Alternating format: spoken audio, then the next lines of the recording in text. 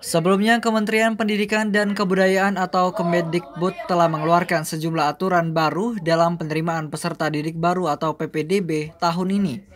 Aturan baru PPDB tahun ini tersebut dituangkan dalam Peraturan Mendikbud Nomor 51 Tahun 2018 tentang PPDB, di mana sistem zonasi PPDB yang sudah diterapkan sejak 2018 akan semakin ketat.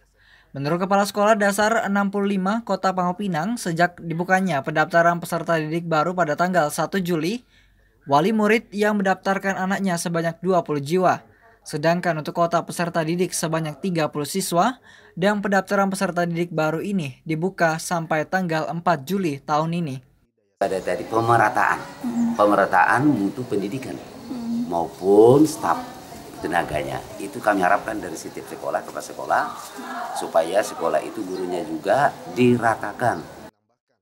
Sistem zonasi dalam PPDB bertujuan untuk mempercepat pemerataan layanan dan kualitas pendidikan di seluruh Indonesia dan mendekatkan anak dengan lingkungan sekolahnya. Dari Pangopinang, Dwi Astri mewartakan.